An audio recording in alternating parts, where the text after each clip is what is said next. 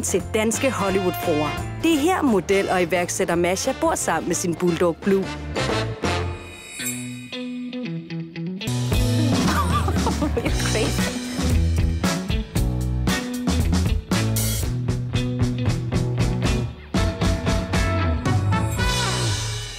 Her vores lobby.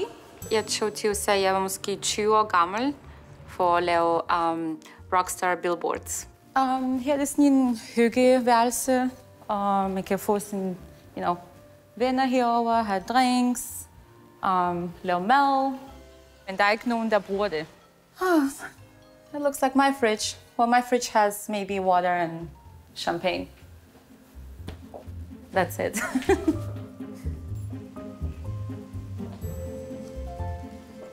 Her får jeg min kaffe om morgenen og snacks for blod.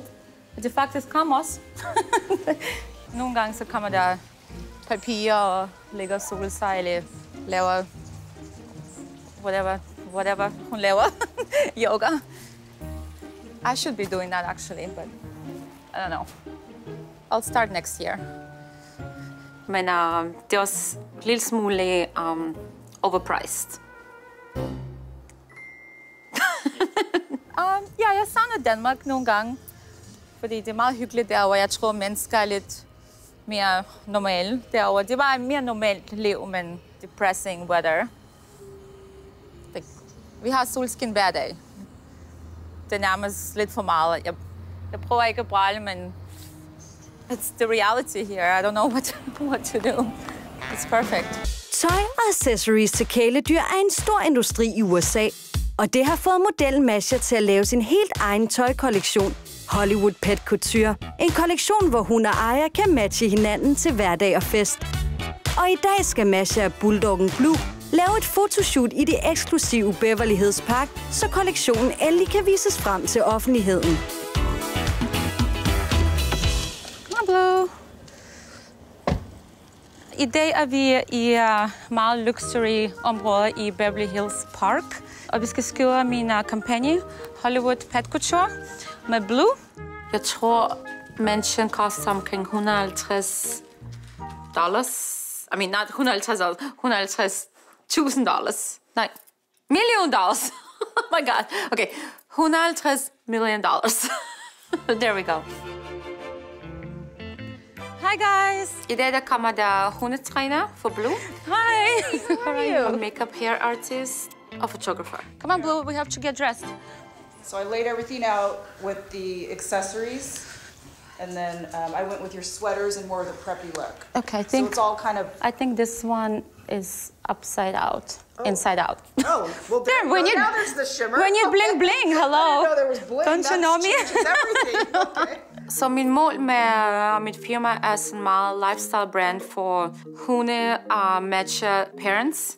Så hvis jeg har noget på, så kan min hund sådan matche mig. So we're gonna do like a tuxedo kind of look for maybe like can be like New Year, New Year, like very festive. Okay. So can I see my dress? Selvfølgelig hver gang jeg tager billeder med Blue, jeg skal også være med, fordi det er Together Lifestyle brand, og vi skal matche hinanden. Just maybe pull them down a little. Yeah. Hey, oh my goodness, Blue. Oh my god, I can't. Like I like this? it sideways like, Like that. this? Oh, Yeah, that so looks really pretty. Wish me luck.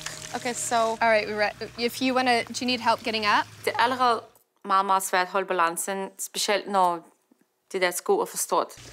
I just... Fuck. Så er jeg klar. Let's do it.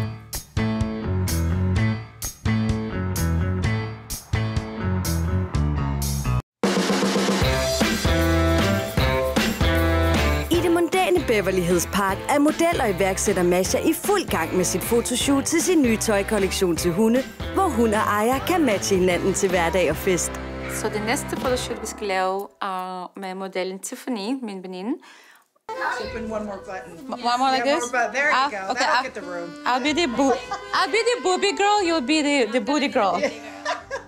All right, girl. Åh, jeg elsker at have pyjamas på. I mean, jeg kan leve med pyjamas. Okay, Let's go. I just wish the world was naked or pyjamas. No, Blue, no. He just wants to be naked all the time like his mom. Take all your clothes off. oh my god. Blue stikker A fordi han er obsessed with balls. Blue, we are late. Sorry, I'm gonna grab this supermodel. He's late for the, his shot. Hey, bud. Hi, my name is Blue, and I'm addicted to balls. Blue! now my boobs are out. Just like his mom. I don't know, I'm gonna be moving a lot.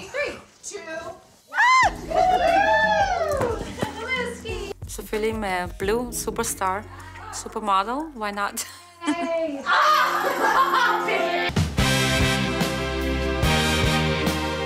Model Masha har også planer for Thanksgiving, men hun har i år valgt at bruge sin dag på en anden måde, end hun tidligere har gjort. Jeg føler bare, at det er dejligt at um, give noget til andre mennesker. If you have something to give, why not? My makeup melting? Yeah, mine. No. Look good. Good. Oh my god, it's so hot. It's like I'm steaming. It's good for your skin, right? Like the steam. Oh my god, det var virkelig lille køkkenet. Det var måske 95 grader udenfor. Just like, it was crazy. I think I need a cold glass of champagne after this.